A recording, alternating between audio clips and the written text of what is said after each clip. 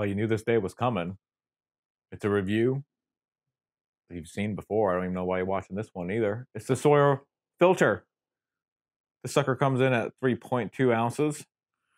It cleans 1 million gallons of water uh, up to like, I don't think that's true. I think it cleans like 10,000 gallons or something before you need to change out the filter in it.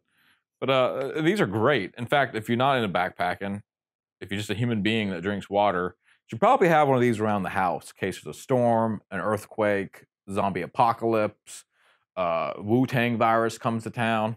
You're gonna want something to filter water efficiently with, and I can't recommend the Sawyer squeeze anymore. Now, is there better things out there? I don't know. Maybe we'll find out this year, or will we? I don't know. The Sawyer filter, what every backpacker has in their kit. You've seen this before. I don't want to do this.